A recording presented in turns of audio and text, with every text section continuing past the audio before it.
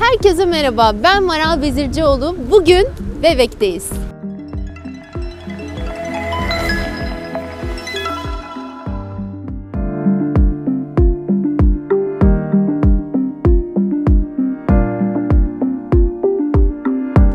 Bebek nerede? Bebek Rumeli Hisarı'ndan Arnavutköy'e kadar uzanıyor. Rumeli Hisarı'ndaki sınırı e, Aşiyan Parkı gibi düşünebilirsiniz. Sahil boyunca Cevdet Paşa Caddesi devam ediyor ve ta ki Akıntı Burnu'nda artık Bebek Arnavutköy Caddesi'ne dönüştüğü noktada Bebek sonlanıyor ve Arnavutköy başlıyor. Sahilden yukarıya çıktığımızda sınır nereye gidiyor? Etiler'e doğru çıktığımızda Boğaziçi Üniversitesi Güney Kampüsü'ne kadar Arnavutköy'e doğru gittiğimizde de üst taraftaki sınırı Kortel Korusu. Peki Bebeğin tarihçesi nereye dayanıyor? Eskiden burası bir balıkçı köyüymüş. Eski ismi Hallayi, iskeleler anlamına geliyor. Bebek ismi nasıl konmuş? Osmanlı döneminde İstanbul fethinden hemen önce Rumeli Hisarı inşa edilirken asayişi sağlamak için buraya tayin edilen bölükbaşı Mustafa Çelebi sayesinde olmuş. Mustafa Çelebi çok yakışıklıymış ve ona bebek lakabı takılmış.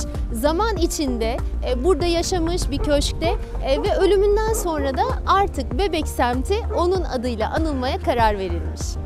Peki Bebek semti ne zaman kalabalıklaşmaya başlıyor? Lale devrinde Bebek semti iskana açılıyor. Nüfus artıyor ve artık yavaş yavaş yazlık bir semt olmaktan yaşanan bir semt haline dönüşmeye başlıyor.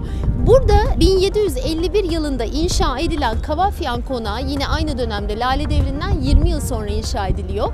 Hala günümüzde İstanbul'da yıkılmayan ilk konak ünvanına sahip. Bebeği hareketlendiren ve kalabalıklaştıran bir diğer önemli olay 1863 yılında Bebek'te açılan Robert Kolej ve Arnavutköy Amerikan Kız Koleji ile beraber hem buraya gelen öğrenciler hem gelen Amerikalı öğretmenler buranın nüfusunu yine kalabalıklaştıran etkenlerden biri.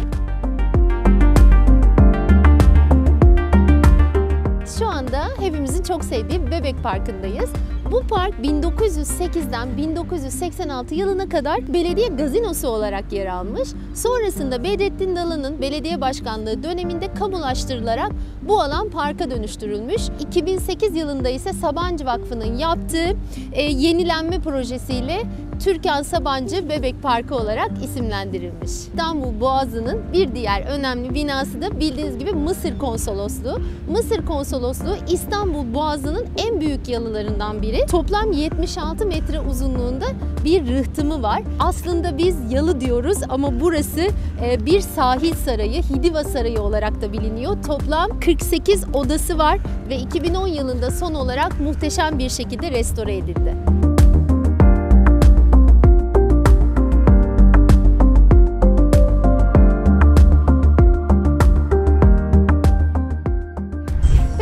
Bebek'te yaşamak istiyorsanız nasıl seçeneklerimiz var? Cevdet Paşa Caddesi boyunca birbirinden harika yol yalı apartmanlarımız var.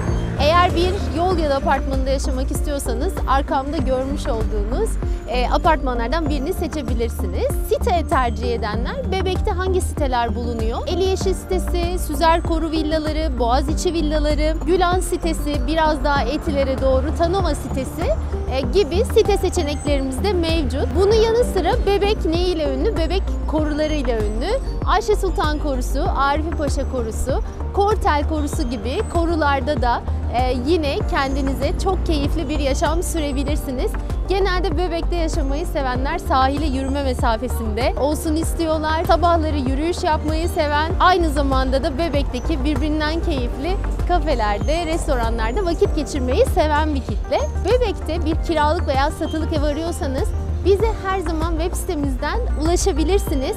Bir sonraki video Boğazımızın hangi semtinde olsun? Lütfen aşağıda yorumlara yazın. Ee, Bir sonraki videoda görüşmek üzere. Hoşçakalın.